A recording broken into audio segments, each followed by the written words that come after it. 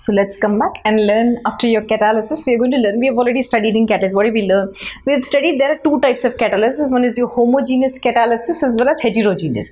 So again, you have a concept here where you have to learn about heterogeneous catalysis theory. Simplest uh, uh, theory. I don't know the symbol. Let us. If they ask you, how should you write?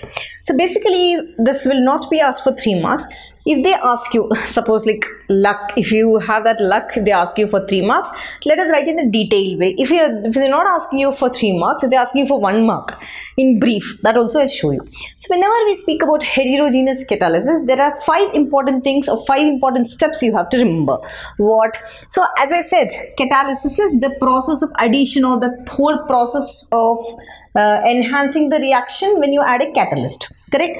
Now i'm going to take or divide this theory into five equal parts. In the exam also you can do like this. What you do is suppose if it is asked for one mark like this you can make a box and explain.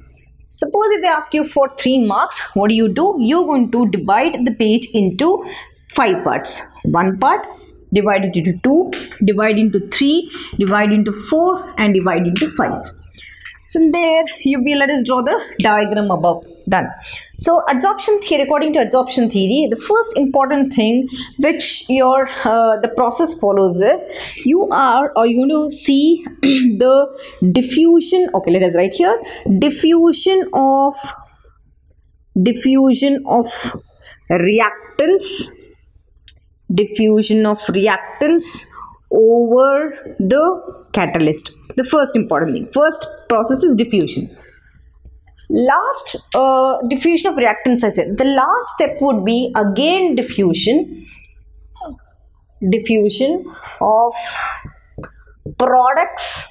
Now there is reactants there. Here i'm going to write products. Remember that. Yeah diffusion of products from catalyst surface. Now what is going to happen in between? Yeah let us see that. After uh, reactants uh, combining and re re products release of products let's see.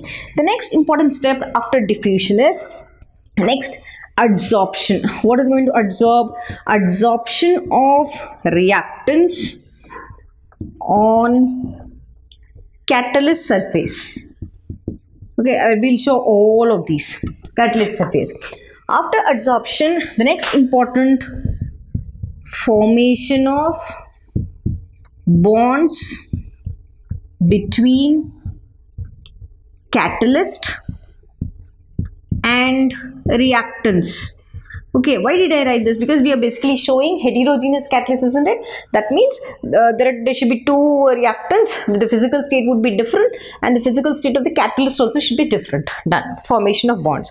After formation of bonds next important thing is desorption. That's going to desorption of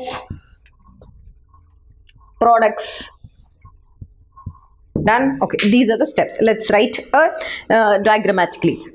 First I said diffusion of reactants over the catalyst. Let us draw the catalyst. We are going to represent the catalyst in this form. Done. This is your catalyst. These are the sites. Done. Right? So now the you you need a catalyst which should be in heterogeneous state. That means both should be different. Now both are different. A and b two different like two different uh, reactants and different physical states if i speak in that terms now second important thing adsorption of reactants on the catalyst surface. So this is going to adsorb right? Simple. Pick up the catalyst in this way on both the sides and both here you have a linkage what should happen? The reactant individually there should be a bond breakage here and one reactant will attach here and one more reactant will attach here. This is your step 2 after that the second third step formation of bonds. They said from here there's a bond formation which is happening between the catalyst as well as your reactant. So now i'm going to take this. Now pick this a there was no bond between these two isn't it? Now form a bond between a and b. Done after that desorption of products. Further once it's going to attach to the site you then later the reactants get converted to the product. I'm generally showing the theory we're not showing with the reactants. So this is going to desorb desorption means separation. From here the catalyst is again regained out. You get the catalyst out done and your the reactant now gets converted to your products. Your product is out. Now this is your product. You have to write that. Here this was your reactant. And this was your catalyst. This is your part. So let us name this. This is one. This is one. This is two. This is two. This is three. This is also three. This is four this is four. If i have to say this is five this is also 5 so this is your heterogeneous theory. These are the steps. So now i this question is given to me in for one mark. I have to write only i have less time i have to write keywords. So keywords are this. Diffusion. Okay diffusion of simple. Reactants next. Adsorption of reactants. Next. Formation of bonds. Next. Desorption. Next. Diffusion of products.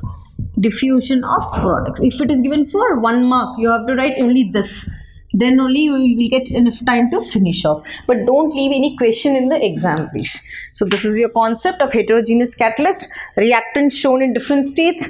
Catalyst again regained back